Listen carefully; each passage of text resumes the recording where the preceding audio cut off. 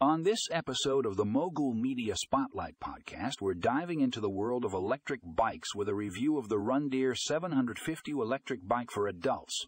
If you're a fat tire bike enthusiast, this is an investment you won't want to miss. The Rundeer 750 electric bike for adults is the perfect combination of power and style. With its 750 motor, you'll be able to tackle any terrain with ease. Whether you're cruising through the city or hitting the trails, this bike has got you covered. One of the standout features of the Rundeer 750 electric bike for adults is its fat tires. These wide, knobby tires provide excellent traction and stability, making them perfect for off-road adventures. Plus, they give the bike a cool, rugged look that's sure to turn heads. But it's not just about looks with this bike. The Rundeer 750 electric bike for adults also comes equipped with a high capacity battery that can provide up to 50 miles of range on a single charge. That means you can ride all day without worrying about running out of juice. And let's not forget about comfort.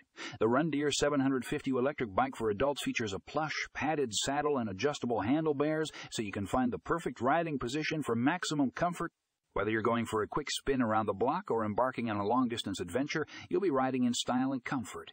So if you're a fat tire bike enthusiast looking for a worthwhile investment, look no further than the Rundeer 750 electric bike for adults. Tune in to the show notes for more information on where to get your hands on this incredible bike.